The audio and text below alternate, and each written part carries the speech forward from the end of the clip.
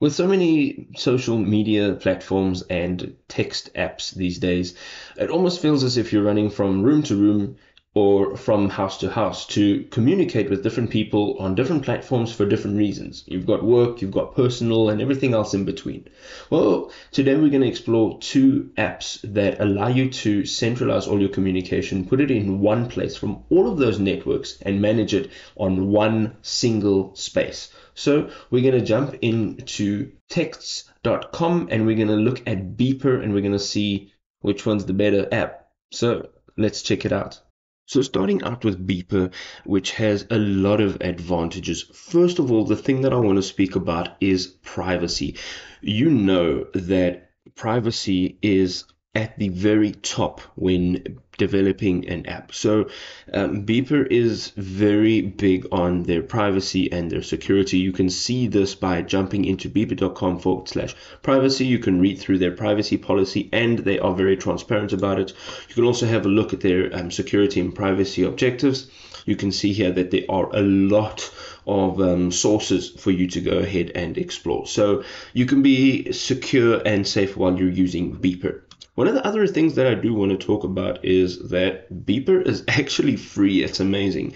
Um, and I know that we're so used to using free apps, uh, especially messaging apps. But for an app of this caliber that offers so much, you'd think that it would come with a bit of a price tag. However, it's actually free and it's amazing. The other things that um, we'll discuss now is actually inside the app. So as you can see here, this is the interface and this is me using my Windows. Okay, and you can use this on iOS, you can use this on Android and Mac. So it really is able to be used on a cross platform device. So over here on the left hand side you got your menu and basically what you do is you jump in and you connect your networks you can also connect labs such as slack and discord and I have connected my WhatsApp account just as a sample. So you can see um, you can go into your inbox over here and this will display all of your messages from all of your networks or you can go directly into those individual networks. It offers you a bunch of settings and if you go up to the top of this window here you'll have your general settings. Now going into the general settings over here we can go and have a look at a few things such as your display name. Um, you can manage your chat networks over here. So Beeper is a fantastic uh, platform. And of course, I think you'll know I love free software. So it is really a win-win for me. Having a look at the texts.com platform, if you go over to their homepage again, security is key when dealing with chat networks. And of course, they have um, a bunch of information on their privacy and their security.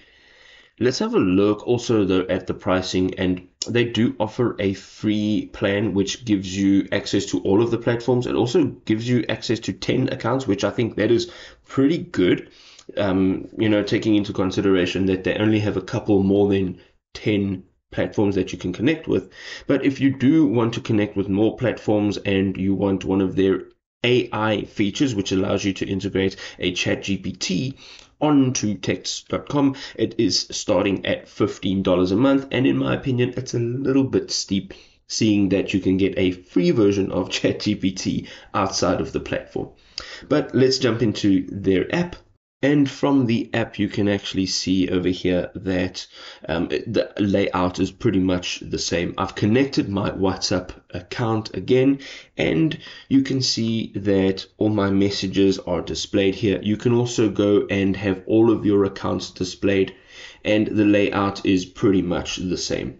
The AI integration is fantastic. If you are wanting to add a new account here, you can add your AI integration, your ChatGPT. One of the other things is that texts.com actually syncs with your native app. So whatever you're doing here will happen in your native app. So as I mentioned previously, um, Beeper, you're not able to really delete the messages and the media from the native app. But when you're using texts.com, you actually delete everything from the original native app, which is fantastic.